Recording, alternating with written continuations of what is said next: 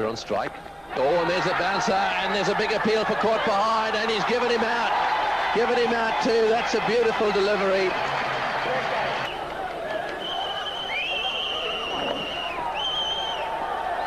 There's interesting one. I, I suppose the, the, question one would ask is, when he hit it, was it shoulder height? And, uh, well, if it had continued its path, the Ditsman, show back up. Oh, and a Yorker first ball, fast delivery as well, 150.7. Right, let's have a look at this one again. A contentious decision, this one. Let's see if we can pick up but before we do that, let's have a look at this uh, this delivery. Was it uh, slipping down the leg side? Bit of reverse swing there, just nipping down the leg side. Good ball though. Oh, it's clean bowling. That's beautiful bowling. Benkenstein really just inside that one a little bit. It looked as if it came back from outside off stump. That's Mr. Benkenstein. Well, he wouldn't enjoy that one too much, I'm sure. No one likes to see their son get bowled out. However, it happens to all dads from time to time, no doubt. The Pakistanis are loving this. Let's have a look. See that little bit of uh, movement back there? Just beat the outside edge. He was uh, on the crease a little bit. Perhaps would have been a little bit more positive with that defensive shot. Good bowling, though. Shower back there gets another wicket. South Africa, 74 for three. On strike. Well bowled right up there in the block hole again. Klusener on the back of a bit of a bad run. Needs some runs. Maybe he saw the 144 a little bit better than the 122 from Venkatesh Prasad the other day. Certainly South Africa needs Lance Klusener to get some runs here now. This is the delivery. Good length. I think the key here was the length from Akhtar. Stay down a little bit. Had a few problems with his groin, isn't he, uh? Right, Klusener's on strike. Two slips in position. Tearing away again. Oh, Beautiful delivery. Magnificent bowling Shoaib Akhtar. Absolutely spot on target and furiously fast. He's brought this place alive. Not easy. You let these Pakistanis get a few wickets.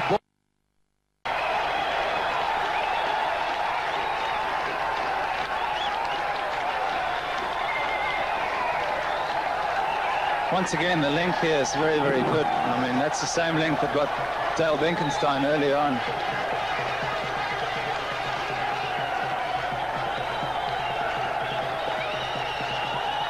Good reaction uh, there, and uh, well, look at that over. Three wickets in the... had two days at Headingley with Andrew Caddick taking four wickets in one over. Always giving it out. Goodness me. Oh, bowling! All over the shop.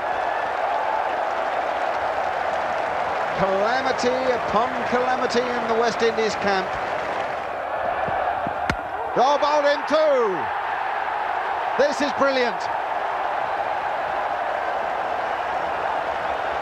This is quite fabulous bowling and quite mesmeric cricket all round. Look at this field. Have you ever seen anything like it? Every single England fielder is in an attacking position. Five slips, two gullies, a short leg, a backward short leg. Oh, play and miss. Another one gone. Four in the over.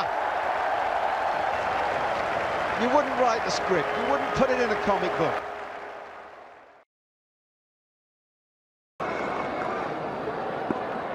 Umpire Simon Taufel says play. First ball of the last test match. Almost put it in the air. Appreciable movement and that uh, you can expect. Short leg as well, close to the bat.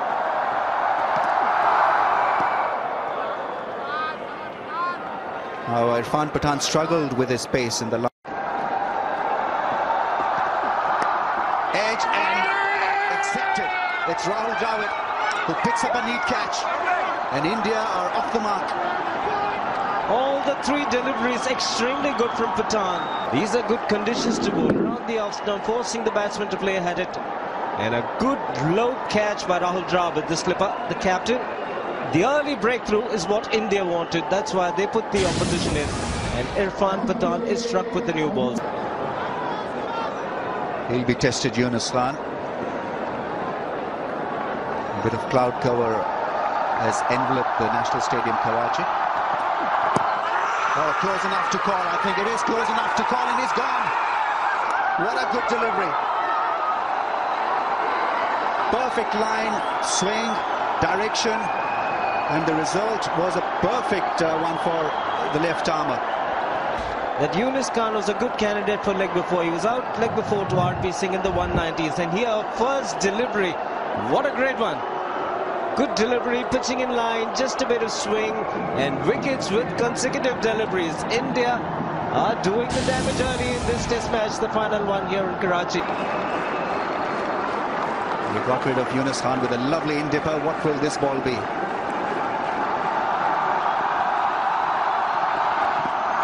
Oh, Boland has got a hat-trick. Second Indian to take it. He's become a star again. Only second man to take a hat-trick in the first over of a test match. Mohammad Yusuf and great nick as well. Look at this, a great delivery going through the gate. Beach, a magical start for India. And Irfan Pathan has picked up three wickets in his first over. And the second Indian to pick up a hat-trick. And this is a magnificent one, he'll remember for...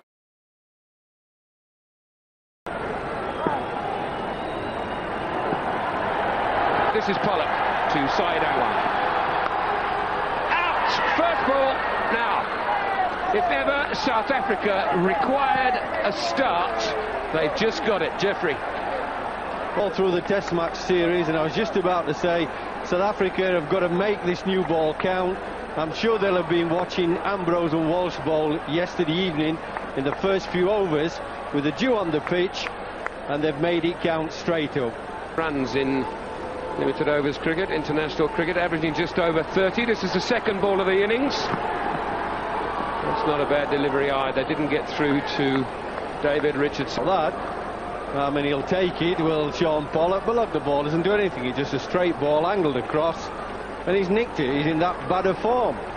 I'd be looking to get picked for the next match. I mean he just can't get the bat on ball. Now that's a good ball. That was a cracker. That pitched and left him like a firecracker. But he hasn't really let himself have a sighter. He could have played it three or four balls and over.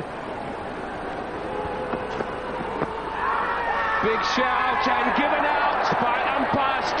What a sensational over this is from Shaun Pollock. He's knocked over Saeed Anwar and Aamer Sohail in three, deli four deliveries. I think it pitched on and I think that's uh, probably missing off a missing leg and knocking middle out about two-thirds the way up. On your bike son you're gone. That's out. If that's not out I don't know what is. None for two Ijaz Ahmed. 4,600 runs, averaging 32, six centuries, 26 50s. Here he is to a right-hander. That's close, it's out, he's done it. Goodness me, three wickets in five deliveries. Ijaz, we saw that in the test match, falling across, and the ball's not going anywhere, but the base and middle, or halfway up. Well I think this is why in heaven's name he'd be playing back I mean you can see leg stump nearly middle stump as well I mean what are they doing playing back why aren't they playing forward Well, there's the over so far. Wicket, dot ball, dot ball, wicket, wicket. No, I didn't th- think Inzamam expected to be coming in now, first over on a hat-trick. Three slips. Hat-trick saved. Good delivery though. In the end of a fantastic over. persevering at that far end with holding. And he's played it on. And another wicket for Michael Holding. Alan Knott just after completing his 50. A little unfortunate there, got into position nicely. Holding's reputation was secured in Barbados in 1981 with the so-called greatest over of all time. And not for Geoff Boycott, it wasn't. Every ticket had been sold, but the local Barbadians, who hadn't managed to get one, were determined not to miss the second day's play. West Indies were all up for 265, not an enormous total by their standards. But it looked big enough as Michael Holding bowled the best over I've ever seen. It was his first, and the unfortunate batsman was Geoff Boycott. That was the first ball which Boycott just survived. The next ball whistled past his off stump as he tried to play it. After five balls, Boycott was still there, but the sixth was simply unplayable.